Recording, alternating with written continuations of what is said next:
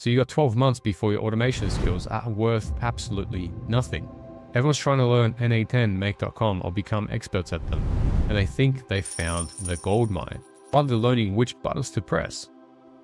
n8n just released natural language automation building, and you describe what you want built, and then it just builds it for you. A 10 year old can now do what took you months to learn.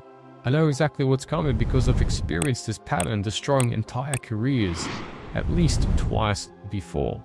I'm going to show you why your automation expertise is on a countdown to zero, the one opportunity that you have left, and that the window closes in less than two years. This is going to piss off a lot of people in this space, but it just might save your career. In 1980s, being a computer operator was a real job, knowing on how to turn on the computer and run real programs people actually got paid for this. And in the early 2000s, that job didn't really exist anymore. Why? Because everyone learned on how to push those buttons and it became commoditized. Schools taught it. Now, to those computer operators, uh, the stuff that they knew now became worthless. And in the 90s, web developers hard coded everything and wrote HTML by hand. Knowing on how to write a div tag was an absolute superpower. Then Wix happened, Squarespace happened, and in 2025 now, my grandma could build a website using Lovable in around two minutes flat. Now those skills can now be done by anyone. And right now in 2025, I'm watching this exact same thing happen to automation experts. And this time it's happening faster than those two examples that I was showing you. And I remember I spent entire weekends creating n8n and Make.com scenarios. But today you can literally just talk to Claude or ChatGPT and it can build you step-by-step -step instructions or a um, some kind of JSON that you can just paste right into uh, these platforms. Yet people are still being sold the dream of become a Make.com or n8n expert and make $10,000 a month. So I've watched this happen numerous times and they spend up to like eight months just learning these tools and making no money in between whatsoever thinking that their expertise is the thing that makes them rich. But then something, something like the release of n8n or natural language automation release, you just type in with words you, what you want built, and then it builds it for you. I'm gonna be honest, as a 2025, this thing probably isn't the one-shot prompt wonder that we think it would be. But given time, and that's what I'm saying, in time, these things will become really good at building out the backends that you hope to have and then anyone in the world will be, will be able to do this. So this means that the skill that you're learning now will become obsolete. And just an example, just to drive that nail even more, uh, six months ago or more, it took a couple people, experienced devs, to build a MVP SaaS at the very least. And now I did this, and last week I just built one. It took me three hours. It was a white label uh, VAPI solution for plumbers. And this thing has Stripe integrations. It has a dashboard. It has the ability to call. It, handles all my subscriptions. I literally did it in three hours. In a few months' time, it will be a lot easier to do this even more. So I can imagine in some time, let's say in the next two years, you'll just be able to talk to an interface. And I'm not saying to be something like Cursor, but you'll just be able to talk to it and it'll just create you anything that you want. So you're missing a thing in your business. You talk to it and it builds you the thing. All those SaaS platforms that people are playing for, all the CRMs, it'll most likely just be able to build you your own private thing. So if you are an A to Z owner, here's the brutal truth no one is really telling you. When you get on calls with business owners, they do not give a shit whether you are a n8n expert, whether you know AWS or VAPI like the back of your hand. They care about whether you can solve their problem and whether you understand their pain points. It's literally been a guy in 2005 who was really good at burning CDs. Yeah, sharing music was very valuable, but knowing the perfect like burn speed, disc brands, that became completely worthless when the iPod came out. I think it was like in 2006 or 8. And then now like Spotify's here, like no one even knows what a CD is. So that's what I'm saying. That guy that learned all that stuff on how to become an expert in the tech part of, let's say, CDs. It's the same thing I'm trying to tell you guys here. like being a tech expert at n8n is going to become obsolete. You should learn on how to talk to business owners and help them solve problems. Because this tech stuff, it will expire. So if automation is dead, what actually will make you money in this like next two years? I think there's only one space left in the AR space that will not be commoditized and saturated, where you'll be able to still charge premium prices, even if it's not just for your expertise. And I'm talking like a 1K projects to $35,000 projects. And that space is voice AI. And here's why it's different. Right now, voice AI is at the same stage where Learning Make or n8n was like in 2022 or 3. And I mean, like really make work, not just a demo, not just something that you can go on a Vapi or Retell and just like type in a couple sentences into the prompt.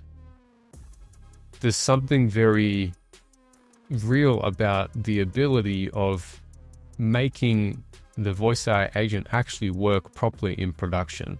And I mean like 20,000 calls in a week or so. How do you deal with so many calls, so many edge cases, and uh, with possible errors that could come up? How do you make this conversation as smooth as possible or the user experience as smooth as possible so that the customers that call up a business is fully satisfied with with the help that they received? And honestly, like that shit is hard. You gotta spend hundreds of hours testing and building and learning these things. And I've got to say, the current LLMs, if you talk to ChatGPT or Claude, they cannot help you with this stuff. Um, they could help you create a prompt, but it's not a prompt that will actually work in production. They're going to give you lots of gibberish here and there. And, and trust me, I've tried it. uh, it just doesn't work. So this is exactly where you could come in. Entry barrier is still really high that and expertise is extremely rare. I mean, we get so many leads every day that we cannot handle them. Just the other day, I gave away six projects. I literally gave them away completely for free, not even ask for referral because I just cannot be bothered handling that much volume anymore. Like I just pass it on because I mean, why not? I want to give everyone else the chance to also help businesses out in the real world.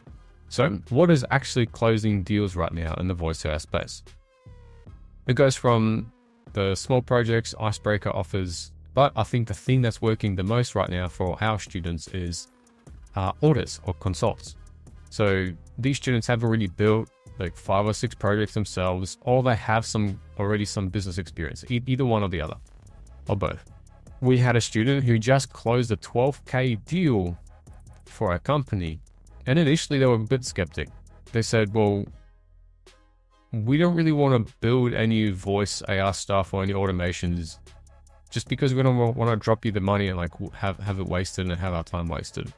We said, well, what if we sit down, it would be you, the ops, and one of your like receptionists, so the, the person that like runs the business pretty much. And we just talk about what you guys do on a day-to-day basis and we just try and figure out where we should laser focus to send our money and our time to.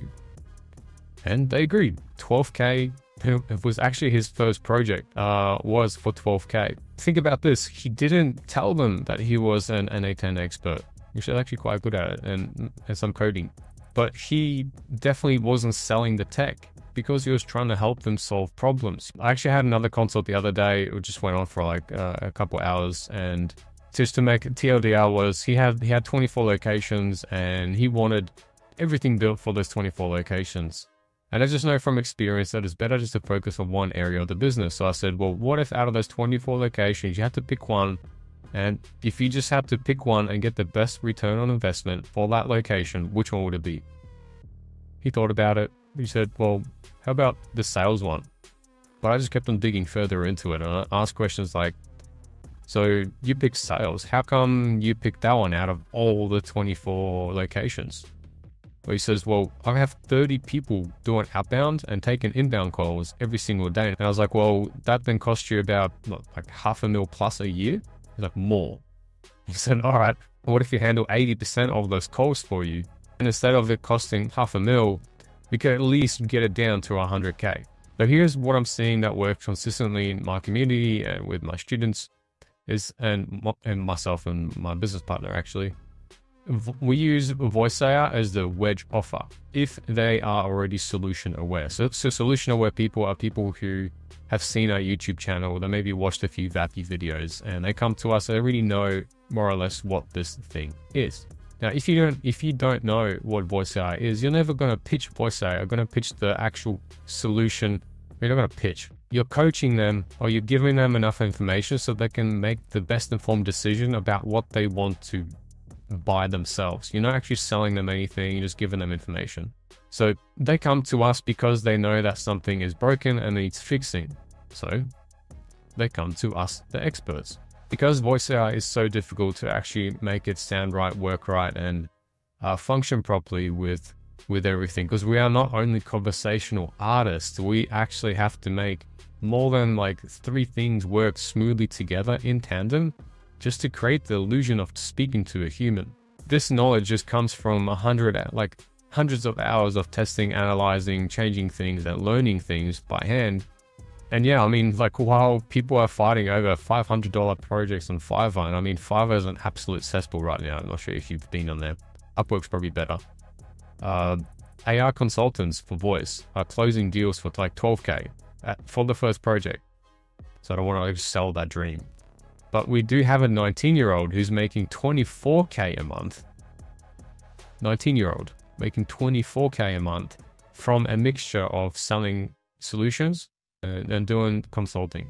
And this is because these guys learn to listen first and coach, and then they focus on the tech stuff. In the next 12 to 8 months, the whole automation market becomes hyper saturated and commoditized, and it will be really easy to create backends for any kind of system.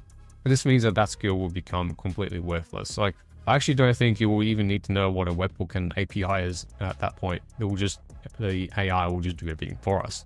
And I'd say up to like 18 to 36 months, voice AI platforms start become easier. You'll just be able to click a few buttons, deploy everything from, from that one spot instead of having even to do a backend. Everything will just be done for us. And this means that the barrier will start lowering. And this is then what will happen then is what's kind of happening to uh, the automation space right now. But we still got like, let's say two or three years leeway before that actually happens. And this is where the goldmine opportunity is. And I guess the only question is whether you move before the window closes. So here's your choice. You keep on learning n8n and automation and you compete with thousands of people building like $500 projects on Fiverr if you are not getting clients right now, it's probably the issue. Like you're probably feeling it as well. But in 12 months time, it'll be a lot worse. Or I can see the second path and you can then now jump to the voice AI niche in the AI space. You can build real systems for real businesses, help solve real problems. Over the next two years, you could establish it as the authority and this would mean building a portfolio, a few templates. So you could maybe like templatize your solution once you get some data. You can even build IP and then eh, maybe even an exit. And what I mean by that is just like you'll most likely build some kind of SaaS, you'll have some kind of money in it, and then you could sell that off to uh, the next potential person that actually wants to use the solution that you created. And if you're serious about the move, you can join my free school community you can start learning on how to build voice AI systems there. Me and my business partner really spent a lot of time building up the biggest voice AI community in the world right now. I mean, we got like 6.2k or 6.1k people right now, and the clock is ticking. So, what are you going to do about it? Anyway, the link's below. See you inside.